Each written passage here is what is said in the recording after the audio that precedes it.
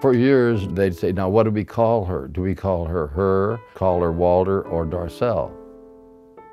I can't be bothered worrying about who I am. I know who I am. In order to do what I do for a living, I have to know who I am.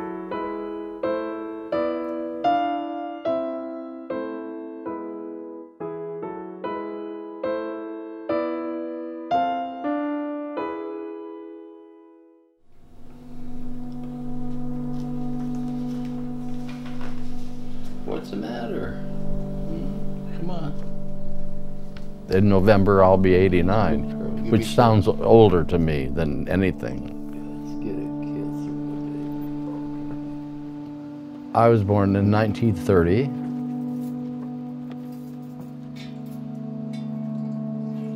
Either you went to college or you got married, and I got married. There was nothing about marriage that I didn't like. It was the fact that I was gay and I had to tell them because I was lying to them and myself. It was a hard time. I bought a tavern in Old Town and we started the shows to entertain our guests. I'd been in local theater all through my marriage, so it was logical that I'd be on stage, but we had nothing. It started with nothing. We didn't go out of the club with drag on. Who knew what could happen to you out there? Gay bashings and people weren't aware of the culture, certainly not ready to see a man in a dress. They probably would throw me out, the, out, of the, out of the store if I went in and said, okay, I want to try that dress on. So I taught myself how to sew on a sewing machine and off I went. I didn't have a name for a long time and my partner, Roxy, he worked with a movie star in the 50s, Denise Darcel, and so we just added another L and, and it stuck. Roxy and I were together for almost 50 years.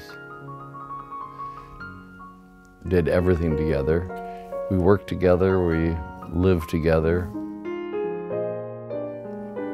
Lovers, friends, working companions.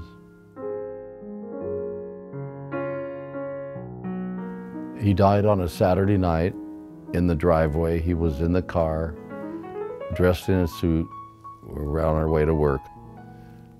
I went to work. I wasn't about ready to sit in this house alone. And so I went to work. And I am so glad that I worked that night because it, it kept me going.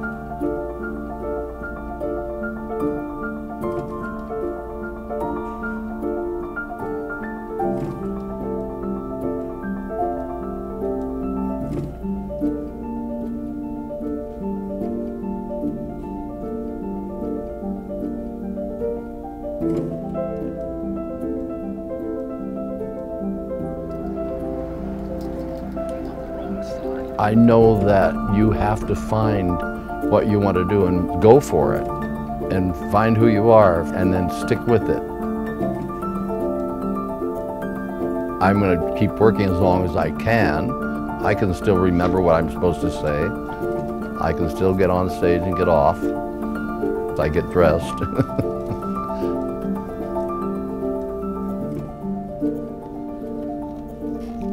my life and I love it. I don't want to stop and just do nothing. If I hadn't told my wife and family that I was gay, if I hadn't met Roxy, my partner of almost 50 years, there wouldn't be a Darcelle.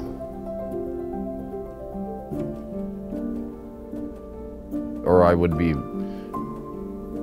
dead by now. We retired from Fred Meyer and sit on the sofa and watch television or hunt or something. Oh, no, no.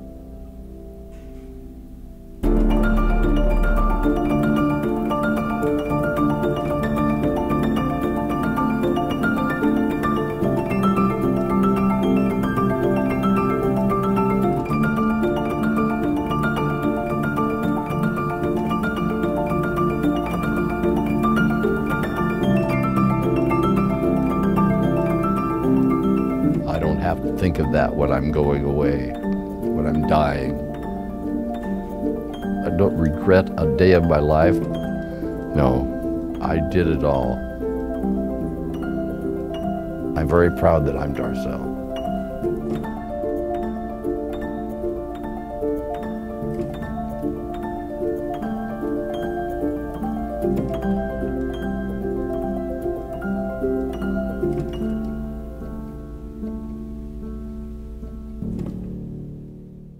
Okay, and thank you.